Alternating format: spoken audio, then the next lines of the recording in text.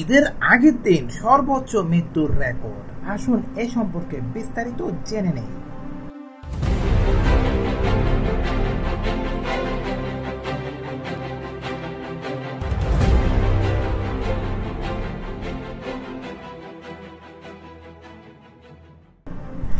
বাংলাদেশে পবিত্র ঈদ উল ফিতরের আগের দিন করোনা ভাইরাস আক্রান্ত হয়ে আঠাশ জন মৃত্যুবরণ করেছেন। এটি একদিনে সর্বোচ্চ মৃত্যুর রেকর্ড। গতকাল শনিবার করোনায় মারা গিয়েছে বিশ জন আর শুক্রবার মারা গিয়েছে চব্বিশ জন। এছাড়া গত বৃহস্পতিবার বাইশ জন এবং বুধবার ষোলো জন মারা গিয়েছে এবং গত মঙ্গলবার একুশ জন মারা গিয়েছে। দেশে এ পর্যন্ত করোনা ভাইরাসে মৃত্যুবরণ করেছেন চারশো আশি জন। দেশে বর্তমানে করোনা ভাইরাসে আক্রান্ত রোগীর সংখ্যা তেত্রিশ হাজার ছড়িয়েছে। গত চব্বিশ ঘন্টায় পনেরোশো বত্রিশ জন করোনা ভাইরাস সংক্রমিত রোগী শনাক্ত হয়েছে। রবিবার দুপুরে স্বাস্থ্য অধিদপ্তরের করোনা ভাইরাস সংক্রান্ত নিয়মিত হেলথ বুলেটিনে এ তথ্য জানানো হয়েছে।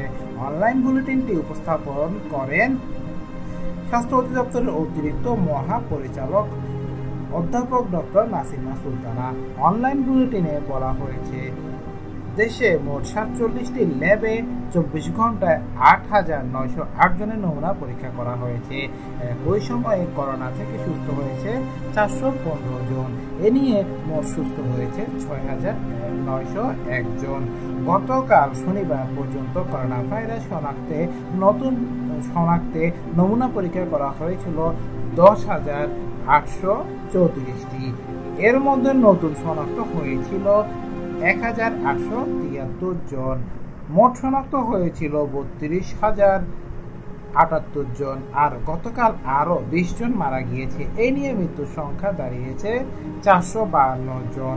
এছাড়া গতকাল সুস্থ হয়েছিল দুইশো ছিয়ানব্বই জন। এ নিয়ে মোট সুস্থ হয়েছে ছয় হাজার চারশো ছিয়াশি জন। আপনার সুস্থতা আপনারই হাতে উল্লেখ করে করোনা ভাইরাসের সংক্রমণ ঠেকাতে সকলকে স্বাস্থ্যবিধি মেনে চলতে বলা হয়েছে। দেশে নোভেল করোনা ভাইরাসে সংক্রমিত হয়ে প্রথম রোগী শনাক্ত হয়েছে আটই মার্চ আর আঠারোই মার্চ করোনা ভাইরাসে আক্রান্ত হয়ে প্রথম একজনের মৃত্যু হয়।